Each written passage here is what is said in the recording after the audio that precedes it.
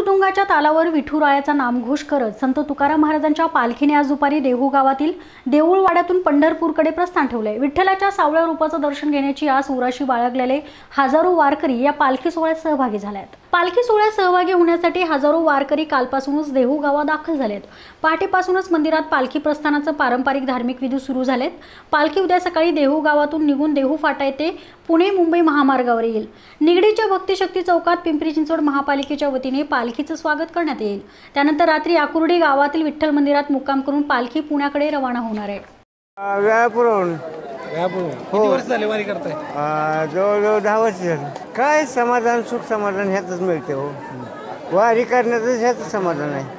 काय मागणं नेमकं? काय मागणं काय मागायचं नाही बघा देवाला. अर्धा घंटा झाला. हां.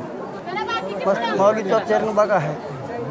काय मागणं आहे माऊलींकडे? माऊलीकडे काय? आपलं रोज पाऊस चला